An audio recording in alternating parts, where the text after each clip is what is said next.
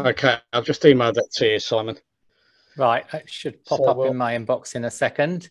So by all means, start okay. talking and uh, about the club and so on, and I'll bring up the slides as soon as I've got them. No worries. Well, I'll just introduce myself. Th thank you, first of all, for inviting me to talk this evening. It's uh, really appreciated. And um, uh, yeah, just from I'm the communications manager at Hastehill Golf Club.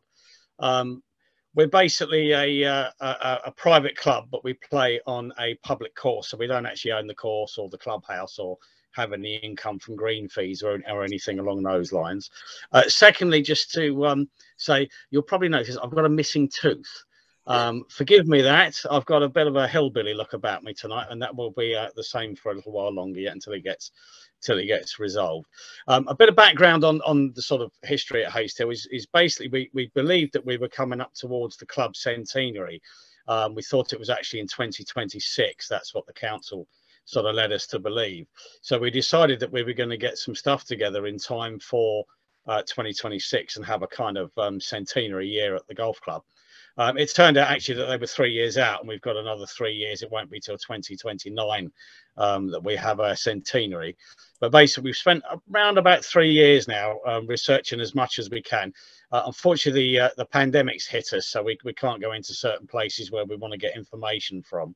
Um, but at the moment, we have uh, around about a 65 page booklet and we're thinking it could go up to sort of 75 80 pages by by the time we've finished so what i'm going to present to you tonight is kind of like a bit of a pre-seed version i suppose it's going to be the highlights of the history of Hastehill um, and what i've chosen to do is i've chosen to focus on the opening of the courses um, some information on the opening of other local courses and the impact that Hastehill Golf Course had on local councils and the local areas surrounding uh, uh, Northwood Urban District Council as it was in those days.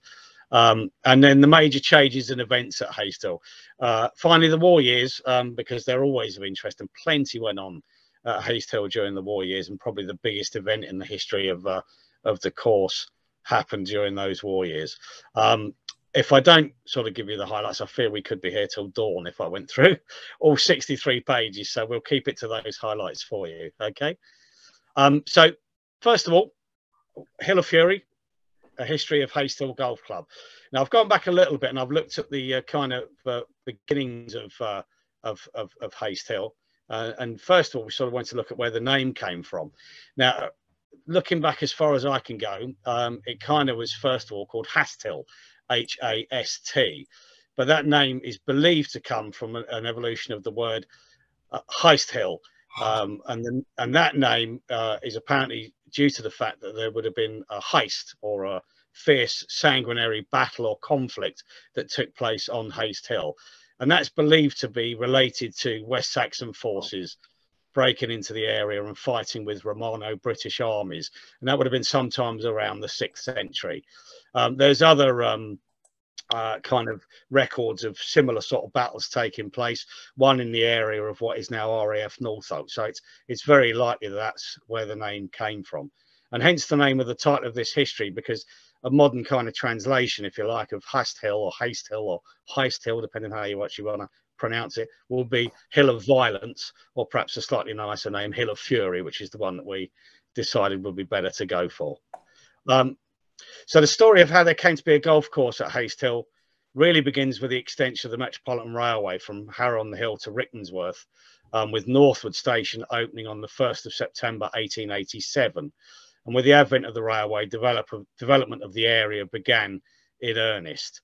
In 1895, the Local Government Act brought about the formation of parish councils, and the Ruislip Parish Council were quite keen to avoid overdevelopment and they began transferring land into public ownership towards the end of the century.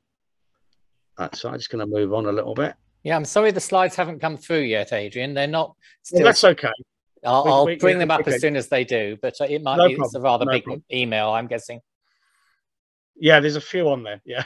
Mm. um, and then, of course, Ruislip Northwood Urban District Council came into being in 1904 to take over the work of the parish council.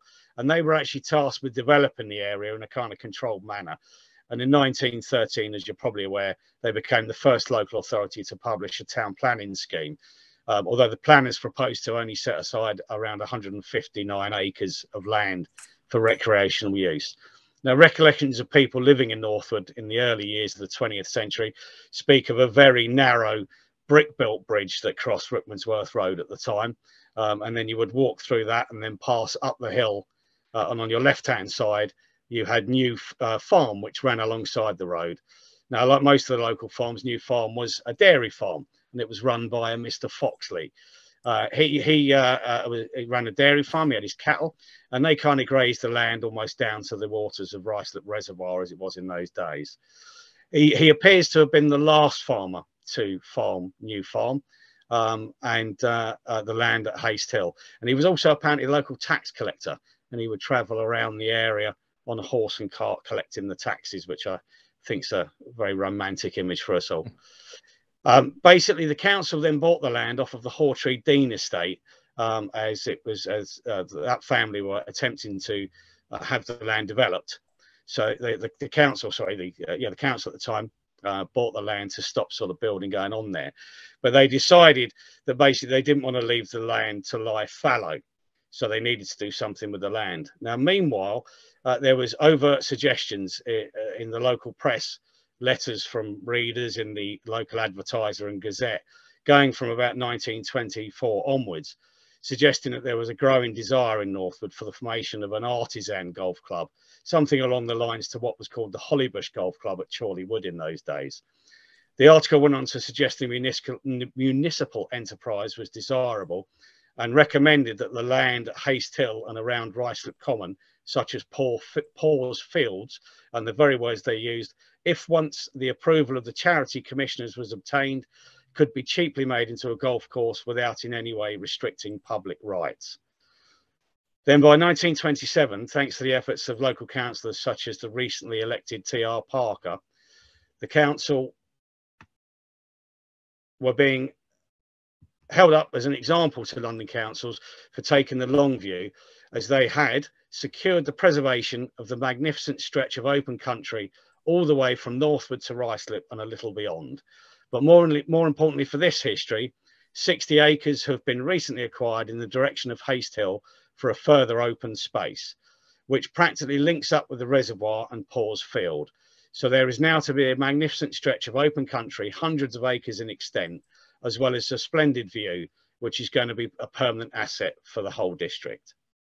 Now, having acquired most of that land, as I say, they didn't want it to leave, to leave the land lying fallow. They purchased up another small parcel of land on the southwest corner of the plot, which was still um, owned by King's College.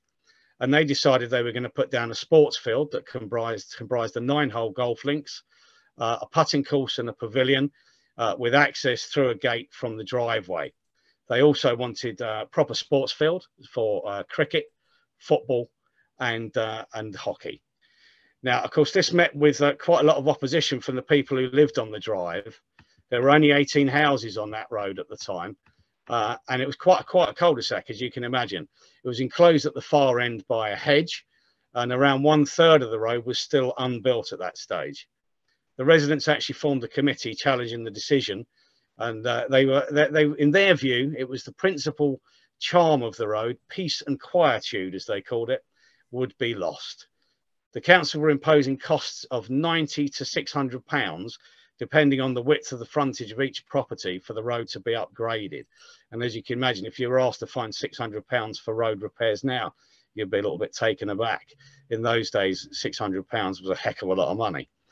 Um, now, the council themselves were actually proposing to contribute just 84 pounds towards the cost, because of the width of the gate at the end of the road would be what their costs were based on the width of their frontage. So the issue actually went to court and magistrates found that the proposals of the council were, and I quote, most unreasonable, but they also said that they were not in a position to insist the apportionment of cost was altered.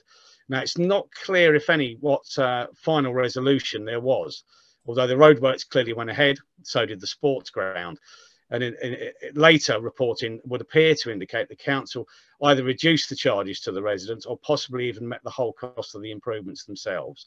Now, what we're hoping to do in the near future is is get in um, to the civic centre there uh, and and have a look and see what kind of information there is from council meeting minutes around that time.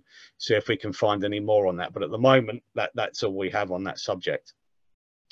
Now, the, the Ruislip Northwood Municipal Sports Ground, as it was known, opened at Hastehill on Saturday, the 27th of July, 1929. And it was the first municipal golf course to be laid down in the county of Middlesex. Now, that's to say there were other public courses, i.e., courses that are open to the public, but actually owned by the council. It was the first of its kind in, in the county of Middlesex. Now, at that event, the chairman of Ruislip Northwood Council, Mr. Mitchell, declared the sports ground completed a chain of open space extending from Northwood across Ruislip and Eastcote. And then he hit a drive off the first tee to declare the 60 acre nine hole course open. The previously mentioned TR Parker then hit a brassy, which is the equivalent of a two wood today, which is your second biggest club in your bag. Mr. Parker was to donate a trophy in 1933 for the club to play for when he retired from the council, and the club still plays for that cup to this day. Um, Sir Charles Pinkham, the alderman and chairman of Middlesex County Council, who had contributed 25% to the costs of building the course, then struck a mashie now that would be approximate to a modern pitching wedge, which is one of the smallest clubs in the in a golfer's bag. And the last shot was played by Alderman Mr. H. Marlowe Reed, who was the vice chairman of Middlesex County Council. We don't know what club he hit, that's not recorded, and we don't actually know how good any of those shots were. Now, the first full round of 18 holes, which have been twice around the course, that was played by Sandy Herd, who was the Open champion of 1902. Um, he was the runner-up at the Open on several more occasions, and he was golf professional at Moor Park. But more importantly, he was the, the architect of the course itself. He designed it and oversaw the building of Hastehill Golf Course. There's a lot of information out on most websites that indicate it's believed to have been built by Harry Colt, who's quite a famous golf course designer. And I can confirm from our research that that's definitely not the case. And I'll explain why later that's probably the, the belief that some people have. And it's probably quite a reasonable belief, but it is incorrect. Also, on that first match was John Henry Taylor. Now, he was another local resident and he was a huge supporter of public golf courses because he felt that the, the sport should not just be the preserve of those that could afford fees at the big private clubs, such as Northwood Golf Course that was next door. Taylor was the Open champion five times, and he was Britain's winning Ryder Cup captain in 1933. He was also a co-designer of Pinner Hill Golf Course. The third member of that group was Robert Burt, or as he preferred, Bertie Pearson, and he was the first course professional at Hastehill. He lived upstairs in the clubhouse that was then known as Golf House The Drive Northwood, and he lived with his wife there. His duties extended to providing catering and waiting staff for the pavilion and he also collected green fees from the golfers and he also taught the game on the course. And the final member of that that, that match, that four ball match, was a Mr. H.R. Metcalf. Now, he was the council surveyor for the course and he was the manager of the contractors that laid down the sports ground. You may not be surprised to know that first match ended in what was possibly a diplomatic draw. Now, we did have a slide that actually had the uh, um, the nine hole course on it for you to look at. Has, has anything come through? No, yet? no. Uh, would you like to just check it? Take a moment to check yeah, the email actually went, and it's not waiting to be spell checked or anything. Yeah, no, it's a bit strange, isn't it? Um, let's have a look. Uh,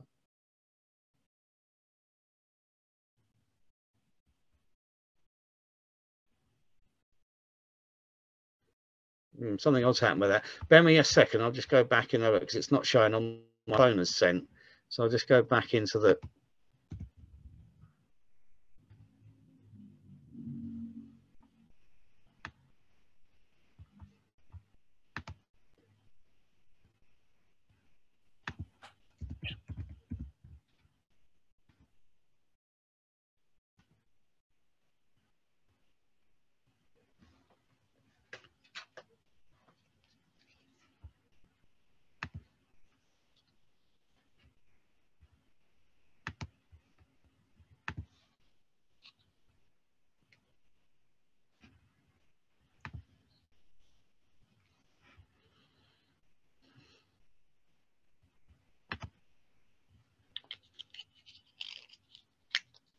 Let me just try that again because it does seem to have done something unusual.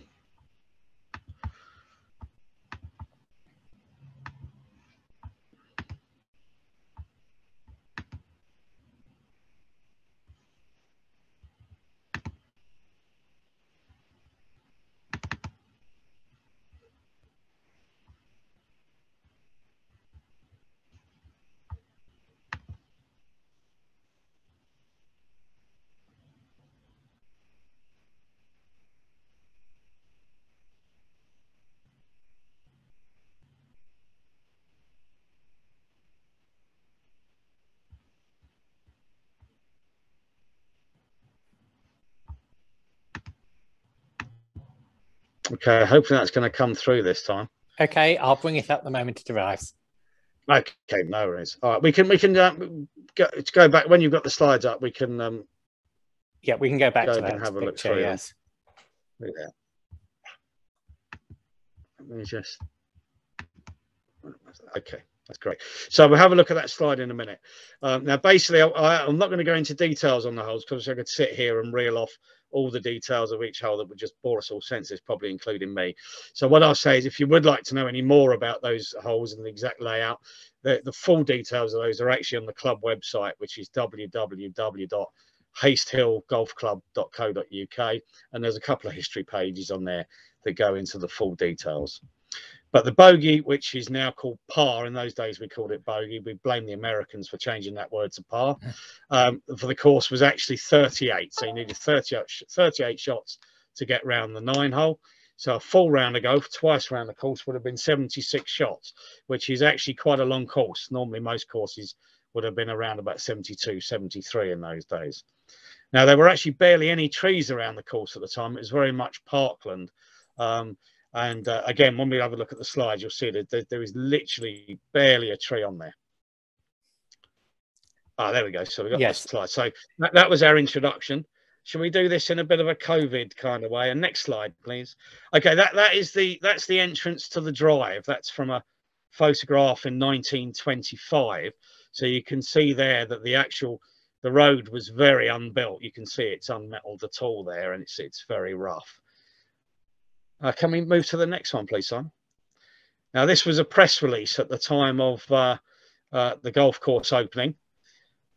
And you can see there it mentions the people that were actually there. And it congratulates them.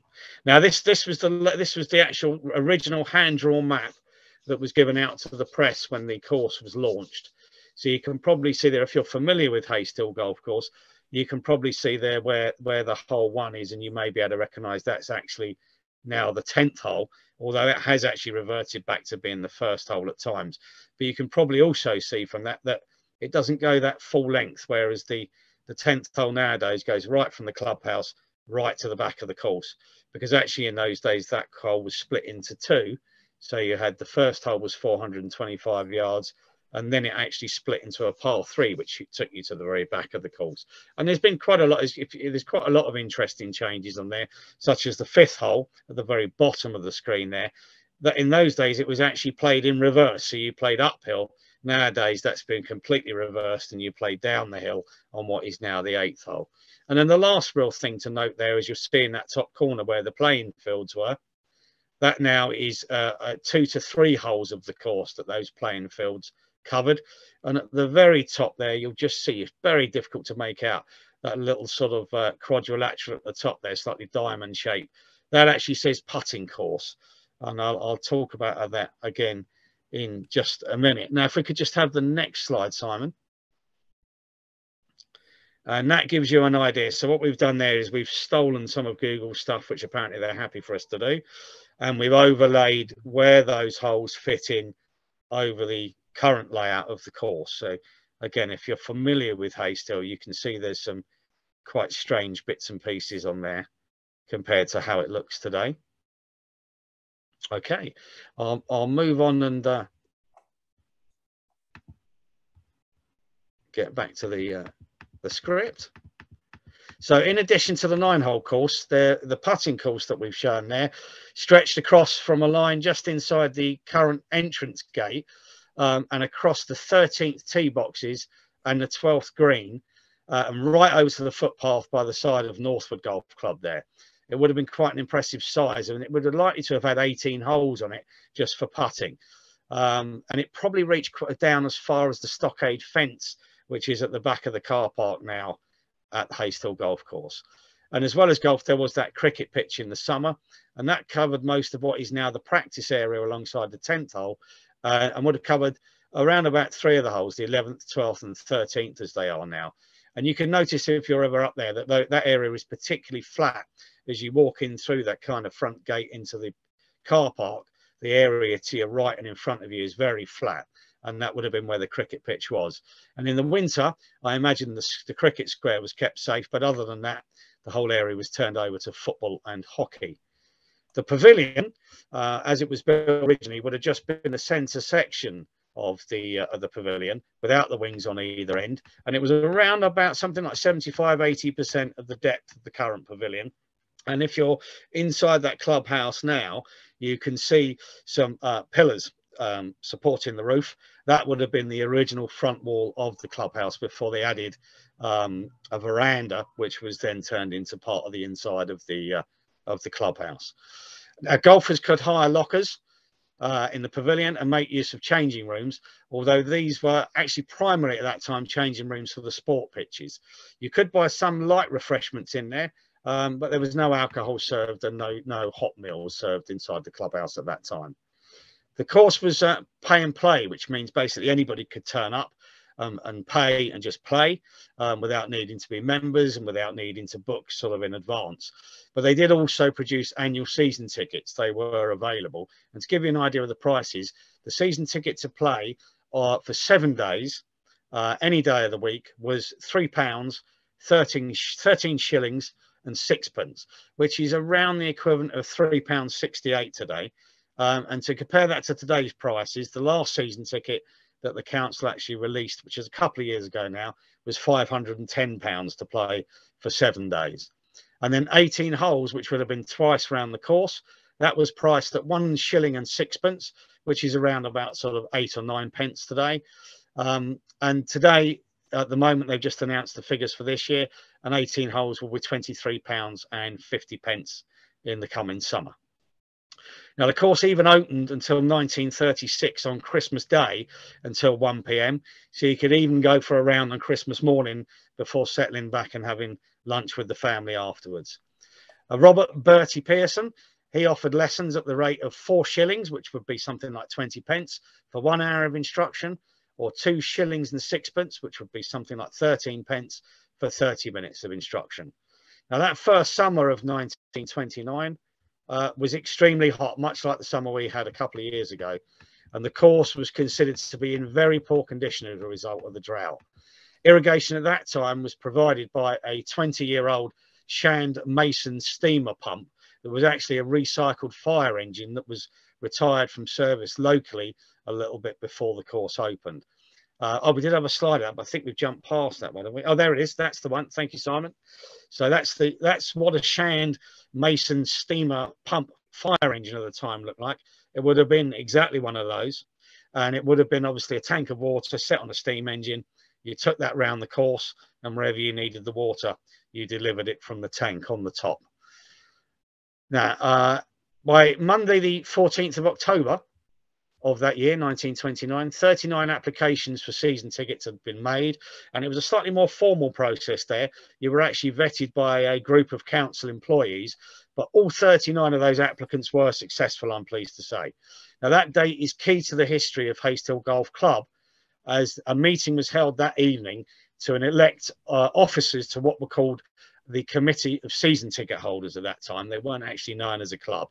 Now, the season ticket holders were asked to assist in the running of competitions, uh, selection of teams to represent the course, and make recommendations to the Golf Management Committee in relation to course improvements and maintenance. Uh, it was quite quickly suggested that the course should be extended uh, in view of lengthy wait times to play and the levels of congestion on Sundays with golfers having to play the nine hole track twice, they were getting caught up with each other. And also, uh, Harrow Golf Course, which was sited at Preston Road, was shortly to be closed to be turned over to housing. And they wanted, obviously, to gain as many of those people as possible. The sports ground faced some issues early on, though. In March 1930, there were proposals to turn the Hastehill open space into a rubbish tip. Now, that would have been uh, actually pulling back the ground, putting rubbish into the ground, and then um, tipping soil back over the top of it and there was all sorts of issues as you can imagine with that. People really did get in a bit of a tiz over it. Uh, and the, the, local councillor ta kenyon refuted those claims. Uh, he said that there was no uh, what they call controlled tipping plan for Haste Hill, and that the golf links he declared the following the golf links is self-supporting and if possible it would be turned into an 18 hole course. By May 1930, the extension appeared to be practically a done deal. The council decided that in view of the sporting teams being displaced, they were to purchase land along Chestnut Avenue to provide new facilities and a further eight and a half acres of land on Hastehill to replace the public land that would be lost. And then uh, many consider the planning of the extra holes to be a sweetener.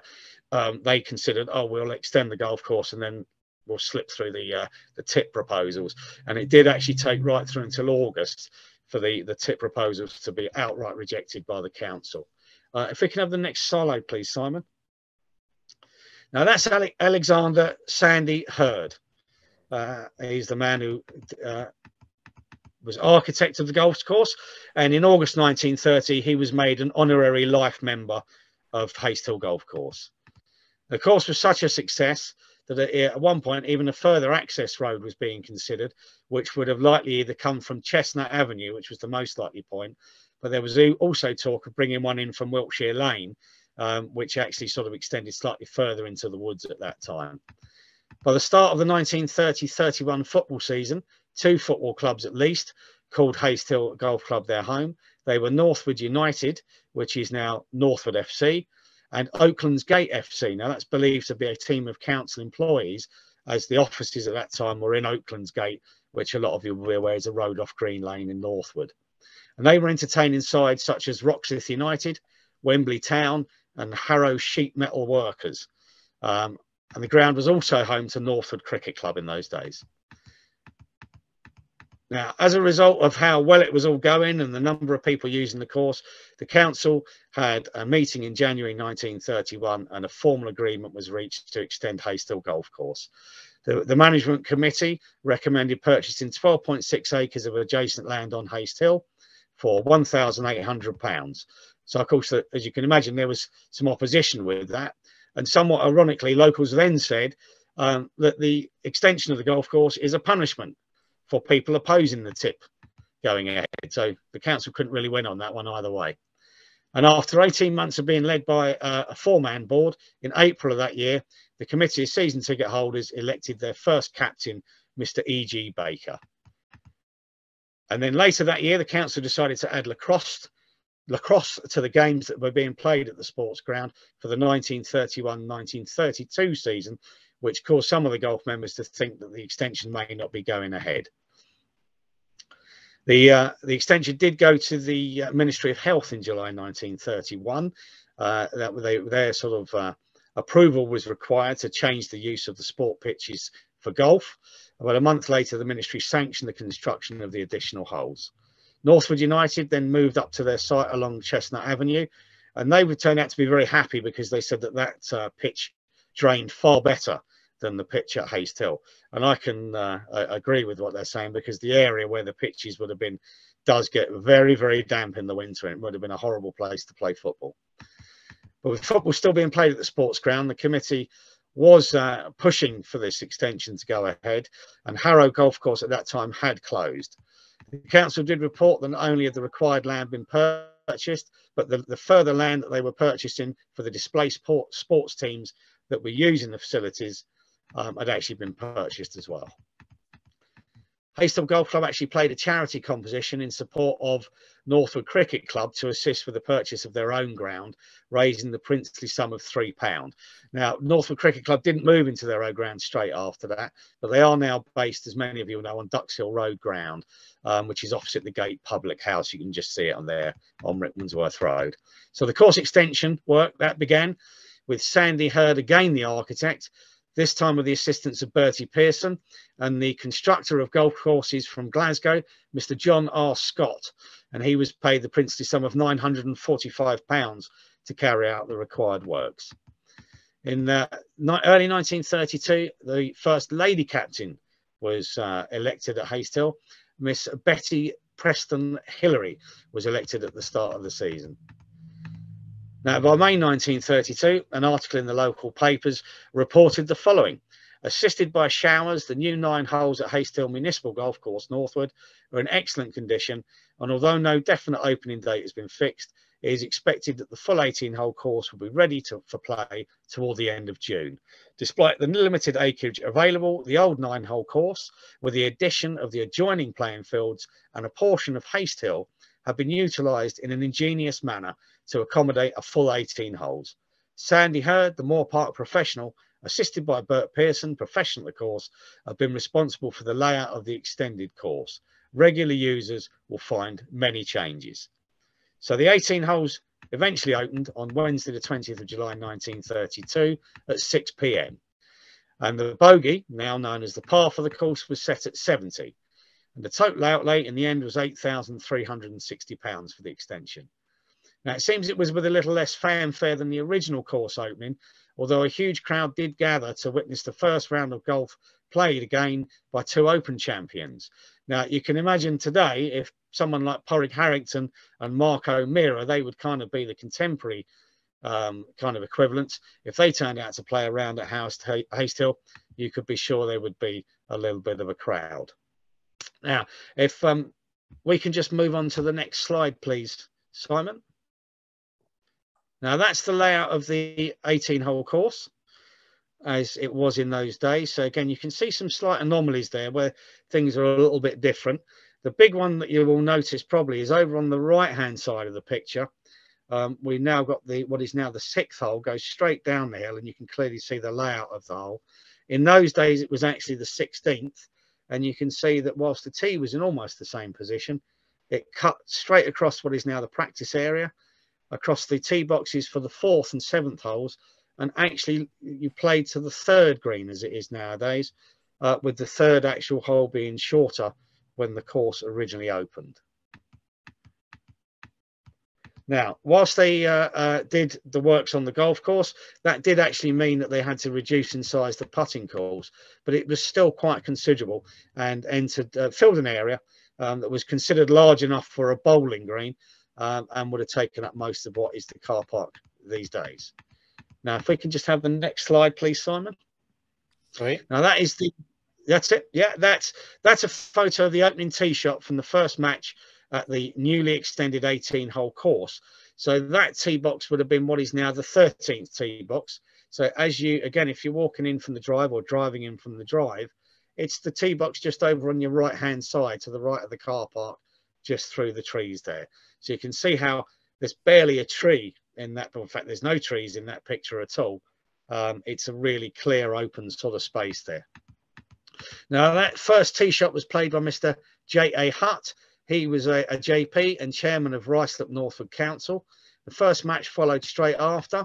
That was played between Sandy Herd, who we know is the Open champion, but also by Ted Ray, who was the 1912 Open champion and the 1920 US Open champion.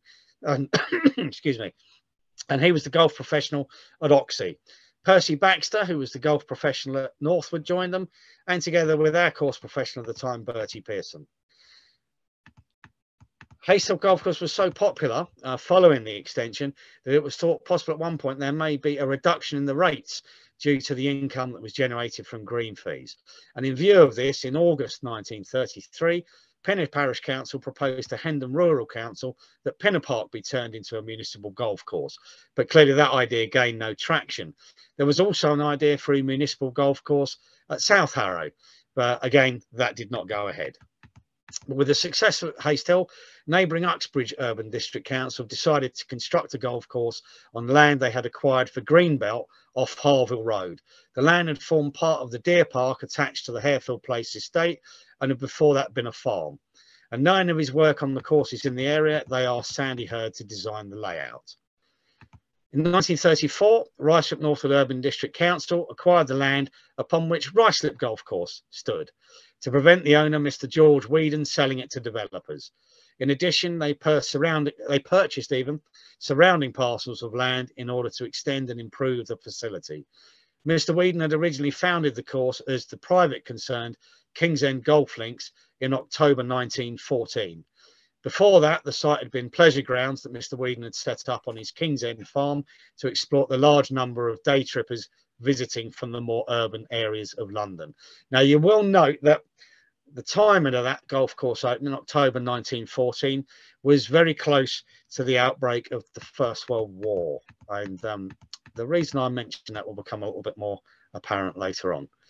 Now, in view of the holes being laid out at Harefield Place and the completion of works at the recently acquired King's End Golf Course being still a long way off, the council continued improvements at the course at Haste Hill. And in May 1935, they approved in principle the addition of another nine holes at Haste Hill, which were to be a pitch and putt, or in, or in other words, all the holes would be par three, um, and that was going to be a relief course. It was to be built on land adjoining the existing layout to ease congestion and prevent any loss of revenue to the soon to open Uxbridge course. Now, subject to the exact position being agreed, £450 was set aside in March for that purpose. In March 1936, our club secretary, uh, Mr. A.S. Lowe, uh, was appointed to the executive committee of the National Association of Public Golf Courses, known as the NAPGC. He held that position for quite a while, um, and it's probably no coincidence that Haste Golf Course was affiliated to the NAPGC later that year and they were also got to join the England Golf Union at that time. So that made them quite a, a you know a recognised golf course. Although they weren't a club, the course was being recognised as quite a serious golf course at that time. Now, if we could just have the next slide, please, Simon. Now that gives you an idea of where the par three course is. Unfortunately, there's very little in the way of records whatsoever. We found nothing. The the only real thing that we know about that course is that the first hole was 65 yards long and the second hole was 125 yards long. We do also know that it was a tight, tricky course, as Bert Pearson reported that lots of balls had been lost in the first round that was played on it. But you can see there, this is uh, th th this square runs right up to uh, Chestnut Avenue, or this uh, this shape runs right up to uh, to Chestnut Avenue, and you can see that white kind of building is now the Northwood Club. And then it ran right down through that sort is now scrubland to the left of the first hole at Haste Hill, round onto the sixth hole, up most of the sixth hole, and then across into that corner of land round by the cemetery there. Now we can find evidence on the actual sixth hole. There's some very strange undulations in the ground, which are clearly kind of the location of tee boxes or greens for some of those par three holes. Now we do hope to find out more again when we visit the council offices when we're able to do so. And we're just negotiating being able to access some of those council meeting minutes, which we think is the best thing in terms of actually finding more about it. Now, the very small, square at the top on that slide, um, that is the alternative position that we have for the possibility of where the house called the Bungalow that was built in 1938 as a greenkeeper's lodge for Haste Hill. Uh, we don't. We believe either Pine Lodge was built at that time and has since moved on to the uh, to be used by the cemetery. Although there's a lot of contradictory information that would indicate Pine Tree Lodge was built just for the cemetery. Now that would indicate us possibly that the bungalow was elsewhere, and the most likely position is there um, by the side of the course where the uh, Northwood Club is today. Although again, we'd like to get into some of those council records to see if we can find a little bit more out about it. Now, the earliest known aerial photograph of Haste Hill is from 1934. And if I can just ask Simon to fire across to the next slide. Now, that's the one. Now, I've zoomed in onto that because this was a photo taken from kind of above uh, the Northwood Hills roundabout there. Uh, um, it was actually sort of above Potter Street School as it was in those days. Um, and we've zoomed in there, but you can you can clearly see where the the, the hole in the foreground here, the first one you can see goes down at a diagonal over to where that third hole is rather than coming directly down the hill.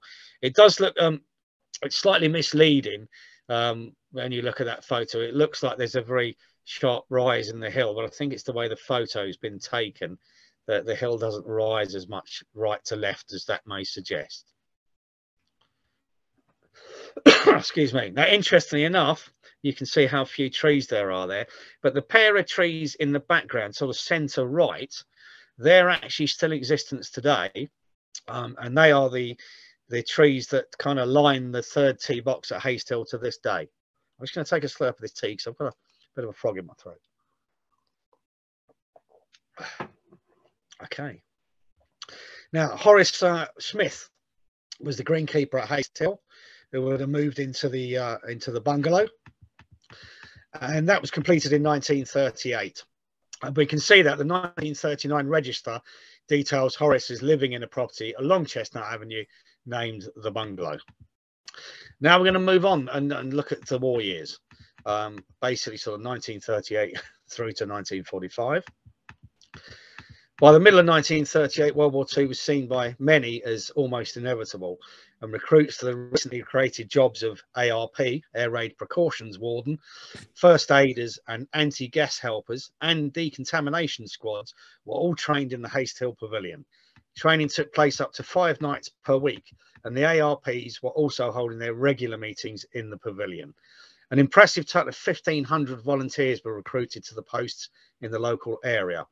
And on at least one occasion, a Home Office van that had been converted into a mobile gas chamber was brought onto the site, and the ARP wardens would have passed through the chamber as part of their training, and they were exposed to, amongst other gases, lewisite, mustard gas, and chlorine gas. Now, the ARPs were instructed to practice wearing their gas masks as much as possible in everyday situations, so they were always prepared in the event of an air raid. Embracing this instruction to the full, they even scheduled an ARPs match for that July at Haste Hill, planning to play the full 18 holes in their gas masks. It raised quite a lot of local interest, and a lot of people were going to come and attend and watch the match. But perhaps unfortunately, or perhaps wisely, the chairman of the Fire Brigade and ARP committee, Mr. RJ Page, stepped in to forbid the competition going ahead. He considered, and his words were, it is not considered advisable. Now, after an association going back to almost the inception of the course at Haste Hill, including two years as club secretary, two as captain, and holding a place on the NAPGC committee, A.S. Lowe left Haste Hill. He became the captain at the newly formed Rickmansworth Golf Club. And the club was based at Rickmansworth Municipal Golf Course that came into being when Rickmansworth Urban Council purchased Moor Park Mansion and the surrounding acres from the Moor Park estate in 1937. A little bit of a theme here. They purchased the land to prevent further house building. Um, now, that was the home to three golf courses the East Course, the West Course, and the High Course. And the, the, the sites had been leased out to Moor Park Golf Club. But sorry, the, the courses were then leased back out to Moor Park Golf Club after the purchase, except for the East Course that became Rickmansworth. Before the sale, it was known as the Ladies Course, and it is now affectionately labelled Tricky Ricky. the course had quite an opening with Sandy Herd joining Bill Laidlaw from Scotland for a Scotland versus England match against Ernie Whitcomb, and again John Henry Taylor put, took part. Now, interestingly enough, it was Harry Colt uh, who actually designed the courses at Moor Park. And um, sometimes the Moor Park courses were already being called Rickmansworth and even Northwood. And we believe that that's the reason why people may be confused and thinking that Harry Colt designed the course at Haste Hill. By September, Haste Hill Clubhouse had been set up to act as a casualty clearing station or a temporary hospital in the event of air raids, with alterations made to the living quarters of the club professional Bertie Pearson and his wife. As hostilities grew ever more inevitable, and in January, sorry, in January 1939, Bertie Pearson was himself inducted as an ARP, a role he performed throughout the war. And then February saw past club captain MG Reynolds elected to the committee of the National Association of Public Golf Courses. So even in those days, for quite a small club um, on a public course, um, Haste Hill Golf Club was sort of quite well considered and, and, punching a little bit above its weight. Now, further large additions and alterations at Haste Hill become less likely, not just due to the likelihood of conflict, but also on Saturday, the 2nd of September 1939, the council opened the reconstructed Ruislip Golf Course. Now, you'll probably remember what I said about 1914. And of course, Britain went to declare war on Germany the very next day after Ruislip opened, Sunday, the 3rd of September. So, just to warn you that Ruislip's closed at the moment, which I'll mention later on, um, I'll give you all a warning when Ruislip's reopening because you never know what might happen that year. Um, the Ruislip course was again designed by Sandy Herd, and the former King's End farmhouse, which stood almost opposite the White Bear Public House, continued in use as the pavilion.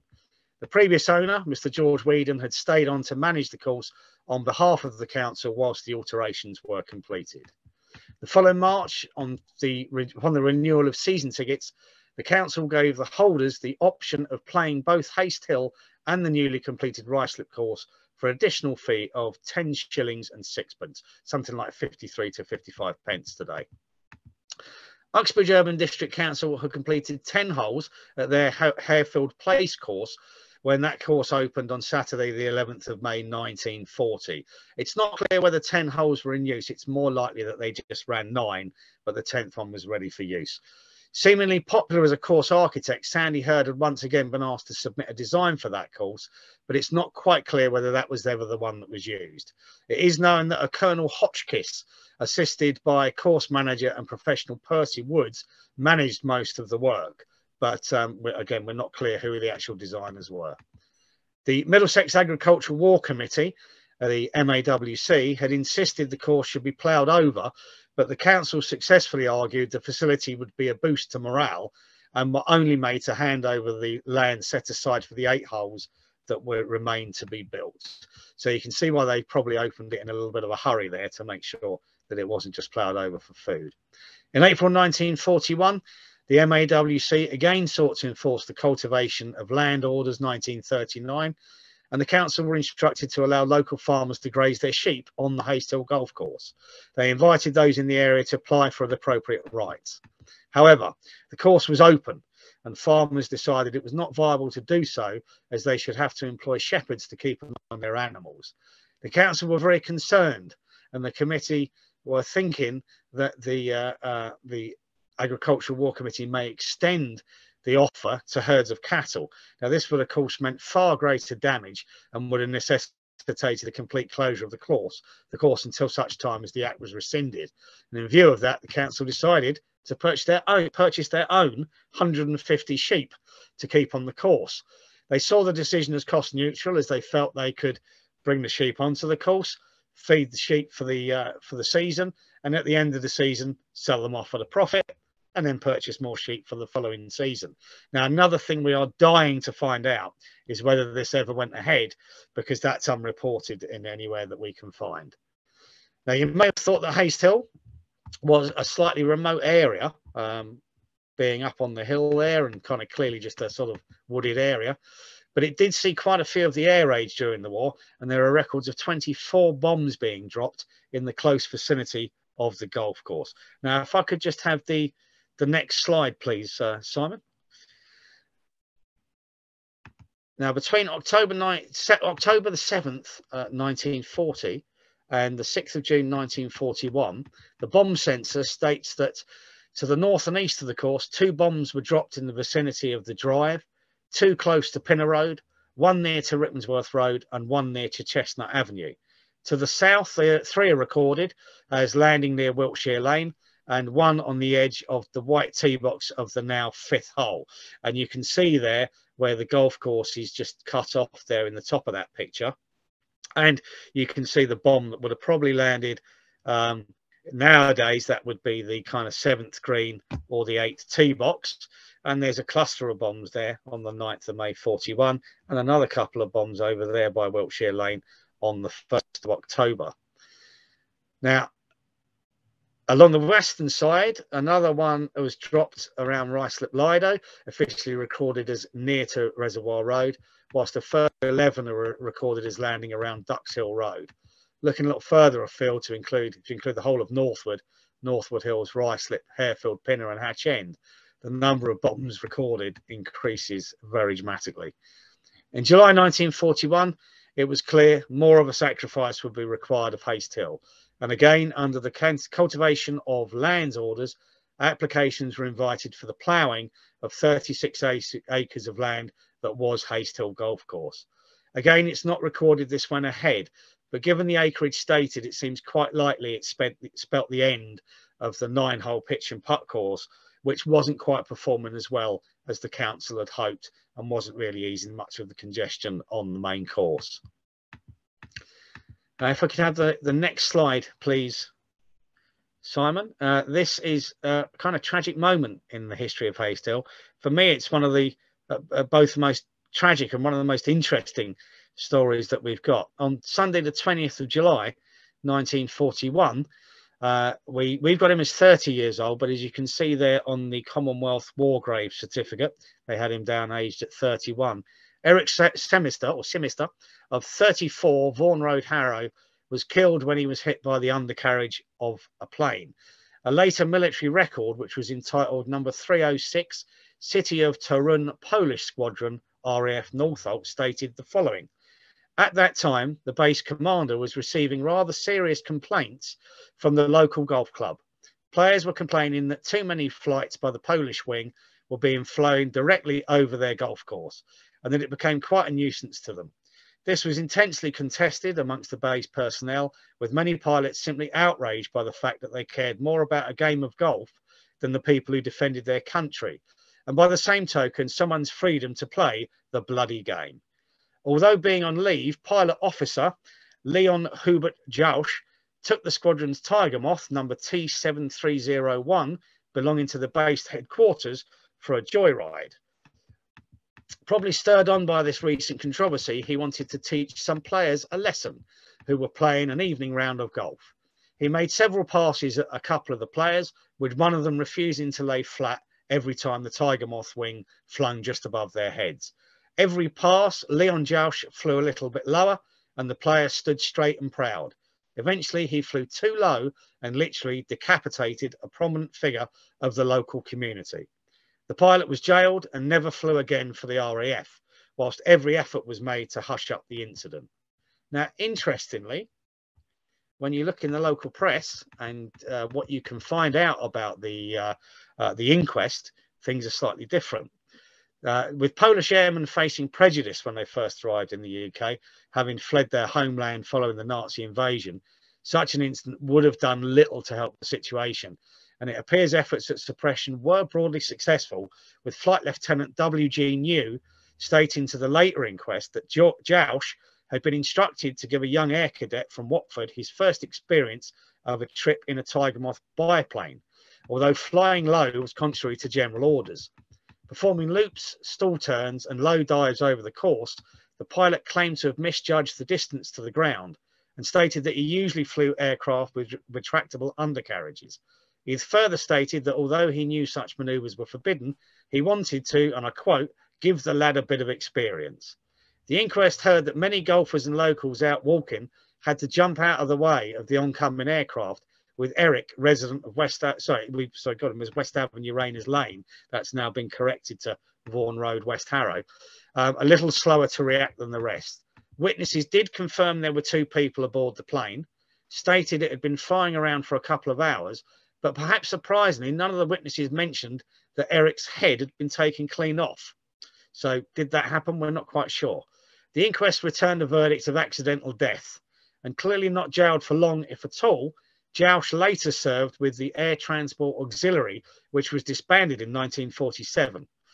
Married to a British woman, Jausch later settled in the USA, where he became a citizen, and he passed away on the 8th of April 1984 He's buried in Los Alamitos, California. Now, if we can move on to a more cheery slide.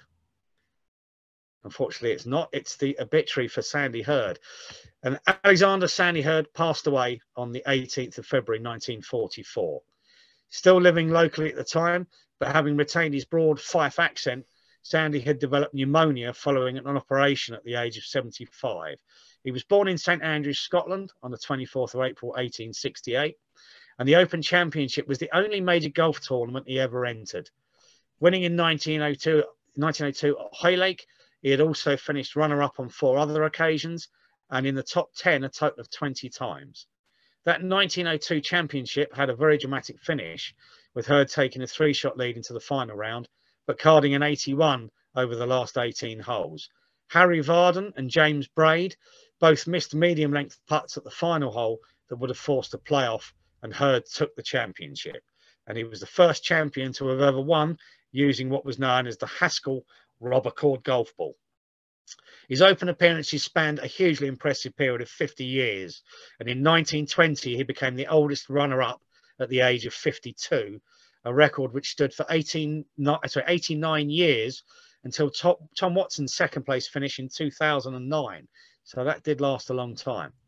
He last made the cut in 1927, which means he qualified for the final two rounds. And his final appearance at the finals was in 1933. He competed right up until 1939 when at the age of 71 he failed to make it past the qualifying stage. His brothers Frederick and David were also both professionals. David was appointed the professional at the now long forgotten Wembley Golf Club that was officially opened right near Wembley Park Station uh, in the first half of 1896. And his brother Frederick, meanwhile, emigrated and was posted the, as the professional at the Washington Park course in Chicago. Uh, more details of Sandy's life are again available on the club's website, where the obituary is a little bit more readable and there's a little bit more information about his brother Frederick, um, who had to pay a deposit when he collected um, one of his uh, trophies, as uh, he was a little bit of a drinker and they thought he might pawn the trophy to buy some booze. um, a Hastehill team triumphed nine and a half, eight and a half in a match in 1944, played against a team representing 13 Battalion of the Home Guard. Despite the Home Guard having been on night exercises the very night before the match, they clearly gave a very solid account of themselves. I'll just have to scroll down a little bit, bear with me. If we can move on to the next slide, please, Simon. That's uh, an aerial photo of the course from 1945. And that year, after 16 years at Hastehill, Bertie Pearson retired from his role as course professional and manager once the war had ended. It does make you wonder whether the war had had a little bit of an impact on him, or maybe even the passing the previous year of his good friend Sandy Herd. Um, but his efforts were key to the success of the course, notably assisting in the design of the extended course and the nine hole pitch and putt course. He and his wife were extremely popular amongst the members. They presented with a presented him with a check to show their gratitude. Bert was succeeded by a uh, strangely named, in my opinion, Mr. John Doe from Bournemouth. That was his real name. Uh, it was also to donate a cup to the club, which he's still paid for, played for to this day. The council advertised the position of professional at Hastehill right across the country, with adverts known to have appeared in Aberdeen, Yorkshire, and right down to the south coast. The position paid a salary of two shillings, sorry, two pounds, two shillings per week, and also a one pound, one shilling per week war increment plus emoluments. I'll now move on to the, uh, just to have a quick look at that sort of aerial photograph. You can see there the kind of layout of the course is starting to look very familiar. Um, but over on this right hand side, you can see um, just where the kind of the diagonal line of that what is now the sixth hole is still in place and where that green is just um, below the sort of three course you can just see where the shorter path the shorter hole is on the par 4 13th hole which is now the third and been extended. And if you look beyond that bit where uh, just off the course there where i said the, the par 3 is you can see that that's actually quite clear there. And there's evidence of kind of some bunkers and possibly some squared off areas uh, and indeed up on that sixth hole that are probably some of the tee boxes and bunkers and, and bits and pieces for the course.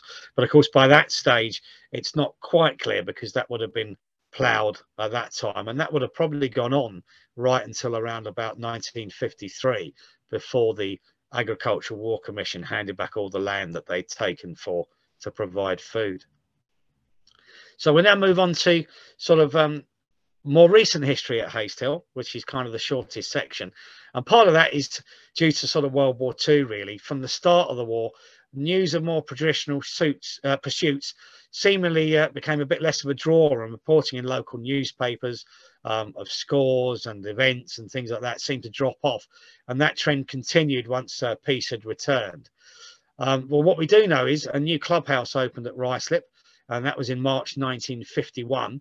That was positioned in the area of what was the ninth green by the time the course closed in 2019. And at that point, King's End Farmhouse, that had been used as the pavilion ever since 1941, was demolished to make way for housing. And if we just flick on one more slide, please, Simon. Now, that's an aerial photo from 1952. Uh, and that probably gives the sort of clearest photo that we've had to date. And again, you can see by this time the food seems to have gone, the, the, the, the crop seems to have been removed. You can very clearly see that diagonal layout of that hole. And you can see at this time then that right hand area was pretty much just an open space, what is now the sixth hole.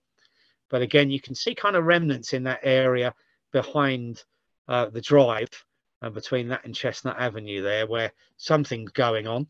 Uh, you can see the line of the brook, but it's not very clear to make out. And again, we hope to get some more information there. The 1952 image also appears to bring to an end any sort of lingering romantic thoughts that Harry Colt could have been involved in remodelling at Hastehill, because we can see from that that by 1952, the course was in its original, pretty much its original 18 hole layout um, and hadn't changed. But we know then the final changes to the course were made between 1952 and 1931. Harry Colt couldn't have been involved because unfortunately he passed away in November 1951. So the, the, the final changes to the course were made after his death. The 1952 saw the Middlesex Development Plan put in place, and that protected open spaces such as Hastehill, as well as numerous other open spaces in the district from future development. But the turbulent beginnings for Uxbridge course had continued long after the war had ended, with the Middlesex Agricultural Committee still refusing to return the land that had been appropriated for food production. Now, whether that land was then given back to what was by that time the municipal borough of Uxbridge, or they procured additional land, uh, is unclear. Uh, but Harefield Place finally became an 18 hole golf course in 1957. In 1960, Horace Smith retired. He was the chap who was living in the bungalow Greenkeeper's Lodge. He retired from his role at head greenkeeper at Hastehill, and he'd done a hugely impressive 31 years at Hastehill Golf Course by that time. He was presented with a cheque on behalf of the club members upon his retirement. And he was one of the very early people to bring an external honour to Hastehill Golf Club. He won the annual Coming of Age Cup in 1952, played in Dublin that year, he shot rounds of 75, 72, and 69 net to win the Association of Greenkeepers tournament for golfers over the age of 60. So he was a he was a healthy man playing golf at that time. In 1965, the club received and began to play a Stableford competition, which is played to this day for the John G.T. Doe Trophy. Uh, and that was donated by his family, as sadly, John Doe passed away at that time after 19 years at the club. So you can see these these early people who were working at Hastehill Golf Club really did go there for a career and saw out their lives with the link, link, links to the golf club. Now, on perhaps what I consider the rather unfortunately chosen date of the 1st of April 1965, the London Borough of Hillingdon was formed by the merger of four district councils, and this brought Harefield Place or Uxbridge, Ruislip, and Haste Hill golf courses under the same umbrella for the first time. By 1971, it is known from aerial photographs that Haste Hill Golf Course had evolved to the current layout. And it's we are still trying to ascertain exactly what point between those dates the final alterations were made and who was the architect for those adjustments on the six holes that changed in that period. In the early 1970s, the council undertook a programme that saw literally thousands of trees planted on and around the course at Haste Hill, with the open links-like feel of the course slowly evolving to the more woodland setting we know today. Clearly well ahead of their time by doing that. There is actually now another plan um, coming in the near future for another 1,000 trees to be planted on and around Hastehill.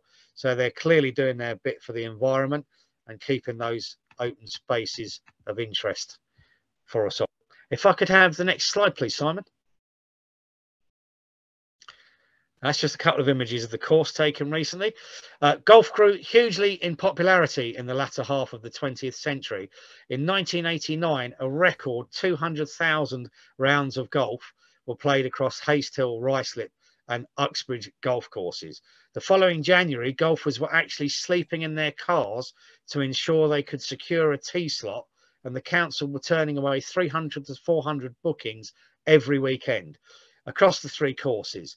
In an attempt to stop this practice of people sleeping in their cars, the council actually refused to start taking bookings around until 5 p.m. in the evening um, so that th these people just would not be out there. And there are actually members at the golf course now who will tell you tales of arriving at sort of two or three in the morning and sleeping in their car to be early in the queue to get the remaining sort of tee times available, which just seems absolutely crazy now in the times of online booking and everything like that. Golf course management were successfully tendering for the running of the Hillingdon's three golf courses in 1993. They spent a grand amount of £115,000 on machinery and took an extra 10 staff and spent £50,000 on improving the clubhouses. And in April, they had a public meeting at Hastehill Golf Course for the company to put forward their vision for golfing Hillingdon. It did not go well. Um, being described as raucous, with players shouting and complaining and heckling uh, due to the inflexible booking arrangements, higher prices, and the removal of season tickets for the first time since the course had opened. Club members felt they were being pushed off the courses, and they actually picketed the, the, the uh, pavilion at Hastehill in the car park. They effectively closed the course for a whole weekend. The golf course company uh, dropped the weekend season tickets, um, opting for a scheme allowing players to play three days a week, but not weekends when pay and play was the only option. Um, following the picket, a 282 signature petition, they relented and offered a card for Hillingdon residents only, giving players the chance to play one weekend round and one mid- midweek round for 499 pounds a year. Now, to give you a bit of kind of um, compare 2018 uh, the price was 510 pound that the council were asking for unlimited golf seven days a week. So you can see sort of how much that was. Uh, with further arguments from the members they uh, did actually reduce the price to 457 pound 75 but the order of the playing of the holes was changed um, uh, which has been sort of changed several times over the years. We've kind of switched from the first hole being the first as it is now, and the 10th hole being the first. And at times we've also had the 13th hole being the first hole. If we could just have the next slide, please, Simon. Golf course management went into liquidation in December 2006, and the running of the three Hillingdon golf courses were taken back in house for just under two years before being put out to tender again. Mac Golf Hillingdon became the new course managers for Hastehill, Ruislip and Uxbridge on a very long 45 year lease in September 2008. But less than a year later, there were major disagreements over the groundworks at Uxbridge Golf Course. Following the installation of a gas pipeline from Harefield to Southall through part of the course at Uxbridge, National Grid agreed a figure to cover reinstatement works on the five affected holes. It involved three planning applications to alter the course, two appeals to the Secretary of State, and the saga finally came to an end in December 2011, with Mac Golf having withheld £300,000 worth of rent and leaving the council with a huge cost to bring the holes back to a playable standard. And it was all because Mac Golf wanted to take literally a couple of hundred thousand tons of uh, uh, landfill onto the course to raise it, whereas the original deal from the council was some, a much more manageable amount of landfill that could be taken onto the course. Um, and they literally argued that and spent all the money that they had to reinstate the holes on planning applications and appeals. So the council terminated their lease and took back control of all the three halls, the three courses once again. But sadly, Uxbridge remains a 13 hole layout to this day. Those holes have never been reinstated. And as it stands, only 12 of the holes are actually in use it really uh, has been a kind of uh, turbulent time for Uxbridge Golf Course over the years. Now, the, the, parent company of Mac Golf, Mac Trading, collapsed in October 2018, and they took down seven golf courses across the country in the process. But I'm pleased to say a number of those have since reopened under new management. A lot of them, like Hastehill, were actually publicly owned golf courses that they were brought in to manage. Moving on to 2018, the clubhouse was left without catering or bar facilities when contractors decided not to renew their contract. This significantly hit the membership numbers at the club, with many, many members deciding to move to other clubs with better facilities. Just this week, the council, I'm pleased to say, have announced the new catering contract has finally been awarded, although it will be many weeks before the clubhouse, bar and kitchen are open once again. 2019 saw Ruislip Golf Course closed um, for a planned period of five years for the high-speed rail line HS2 to be constructed. Once the course reopens, it is not clear what sort of course and facilities there will be, as the remaining land will likely not be large enough for a full 18 hole course. Although, although the number of people playing golf is showing signs of beginning to rise again, um, it dropped significantly in the early part of this century. And we are still at uh, a time where the numbers of people participating in outdoor sports and pastimes is currently at a kind of low point historically. In view of that, together with a number of challenges for the club to overcome recently, and with many people finding themselves lacking free time enough to run the clubs or societies, uh, we are fortunate at Hastehill to have a very committed group to keep it running. The council have just recently put out a questionnaire to consult the public on the way forward with the three golf course sites, and we're kind of hoping that they're going to reinstate those five holes at Uxbridge. Um, kind of do something with Ruislip, maybe a nine hole course with some practice areas and a driving range. And we hope that Hastehill will continue as it is, preferably with some kind of more practice facilities built onto the course. So there's been a lot of history on these few acres of land at Hastehill. So many professional golf courses, uh, golf golfers even, council officials and their colleagues, club members and casual players have all ensured that Hastehill Golf Course and Hastehill Golf Club have reached their 90th anniversaries.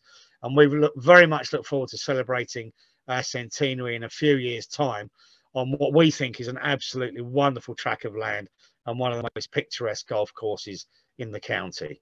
So should anyone like to delve any further into the history of Hastehill, please do visit the uh, hastehillgolfclub.co.uk website and visit those history pages. Uh, and if you've enjoyed this talk, uh, do let Simon know. I would be more than happy to come back and fill in some of the sort of areas that we haven't been able to cover tonight. Um, just to tell you a little bit about Hastehill, um, we are, uh, as I say, a private club. We play on a council-owned course at Hastehill. Uh, we do have a thriving men's and ladies section with full programs of club competitions, inter-club matches, national and even international tournaments throughout the year. The membership fees for this coming year are just £60, which includes membership of Middlesex Golf, England Golf, and the National Association of Public Golf Courses, and as even includes golfers' liability insurance. The membership, though, does not include the green fees as they are managed separately by the council. But to give you an idea, green fees at peak times for the coming year have been set at just £23.50. So that'll be a midsummer Saturday morning round of golf for just £23.50. There are small fees to take part in competitions at Hastehill, but they're literally three to four pounds per head, and they're used solely to fund the prizes and competition costs. So for what is a relatively small club, We've been very successful over the years, winning numerous county and national competitions, and we even qualified to represent England Golf in Portugal a couple of years ago by winning the England Golf Sixes tournament. We sent our uh, one of our board members and one of our lady board members represented us in Portugal for that competitions. Now we have also won numerous national uh, and inter uh, sorry numerous uh, international sorry national competitions for both teams and individual events. So if you're considering taking up golf, maybe you're looking to return to the game following a hiatus, or perhaps you're weary of huge fees and a lot of the politics I keep hearing about at the privately owned courses, you would go a long way to find a better place to play golf than Hastehill, let me tell you. So should you like to know more, I can be contacted at communications at hastehillgolfclub.co.uk, or again, you can visit the website where more information is available. So thank you very much for listening to me this evening. I hope you find or you feel it has been time well spent and you've enjoyed my talk. Thank you very much indeed, Adrian. Absolutely fascinating, and uh, so much uh, there that um, uh, fits in with the general history of uh, Northwood as we know it, and indeed mm. uh, you've covered Ruislip and Uxbridge as well. So um, it's a, a, very, very useful talk. I'm surprised you hadn't commented on the apposite name of the approach road to um, Hastehill Golf Club called yes, the Drive. Yeah. It, what a yes. brilliant name for, for the road. Pure irony. It's pure yes. irony. It was there before the uh, exactly. Uh, it predates the golf but club. Strange but... enough, it's it's the same at Uxbridge, but I don't know if the name of that road, which is also the drive, I don't know if that predates the golf course or not there, but it has actually the same name. So interesting, yes. Right. Well, um, Joan has put her hand up, um, so I'll ask her first if she's got a question to put to you, yes. and any, if anyone else has, uh, let's carry on for a few more minutes and see if there yes, please, uh, please points yeah. points that perhaps you can answer. So over to you, Joan. Uh, do you have a junior section to bring forward new members, or, or are you just um, adults? At the moment, we're, we're, only inviting juniors that can play with um, a parent or grandparent. Um, rather than actually having a proper junior section. The reason is um, golf courses and golf clubs have just been um, asked to sort of undertake what's known as a safe golf charter. Um, Hastehill have actually uh, kind of reached that accreditation, but we don't actually have the people in place to run a proper junior section. For those that are interested in junior golf, we actually recommend Brent Valley Golf Course, which is down in Hanwell. Uh, they have just got a grant and have an absolutely superb setup for junior golfers. They've literally just relaunched the section. So it's a great place and they do have the appropriate uh, people in place to run a junior section in accordance with the Safe Golf mark. So sorry, unfortunately at the moment we can't entertain junior golfers, but Brent Valley Golf Club is a very welcoming club. We play there quite a lot in competition and they have a very good setup. Thank, thank you very much, Adrian. Any more questions for Adrian from anyone? Either just unmute yourself and talk. Yes, I can see someone putting their hand up. Just unmute yourself and talk.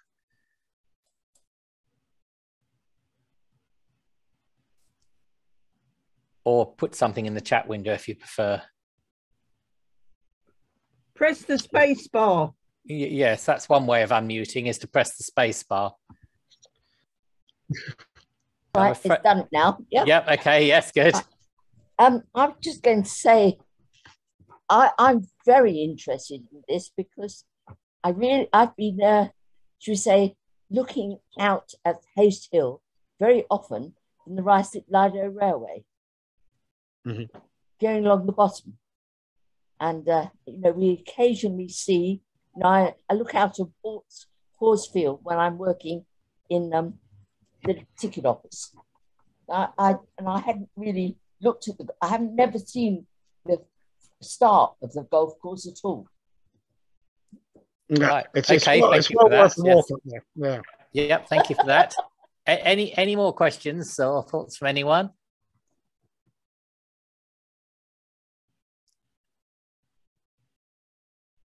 Right. Okay. Well, I think in that case, it remains me to um, thank Adrian again for a fascinating talk. And I'm sure that the, the, business of the person killed by the aeroplane, I mean, that's amazing, but that's not more yeah. well known uh, uh, that, that that happened. And surely the only occasion ever that someone on the ground was killed by an aeroplane, other than um, due to a crash, I would have thought. Um, yes, has anyone yeah, ever ever Yes, yes, uh, possibly by accidents at airfields and airports themselves, but not uh, somewhere distant from where the, the aircraft is based. So thank you again for that. And I hope you can all join us again um, for the next meeting of the Ruislip Northwood and Eastcote Local History Society on the 21st of February. That's another Monday when we're joined by Alexis uh, Haslam of the Fulham Palace Trust, will be talking about the restoration of the uh, of Fulham Palace, the former home of the uh, Bishops of London, of course. Um, and uh, that will be on Zoom again on the very same link that you've been on this evening. We hope possibly in March to resume meeting in person, but it, uh, watch this space. We'll uh, carry on with Zoom until further notice. So uh, hope you've enjoyed this evening. I certainly have and um, hope you can join us again on the third Monday in February, which is the 21st, for a talk about uh, Fulham Palace. And um, yes, uh, Suzanne said, uh, thanks to Adrian, very interesting talk. Thought the trees were much older and she loves the course. So that, that's a very kind comment. So nice to see you, you, all. See you all again in February. Uh, enjoy, in, enjoy the, uh, the seasonal weather and uh, see you in February. Bye-bye. Thank you. Bye bye. Bye bye.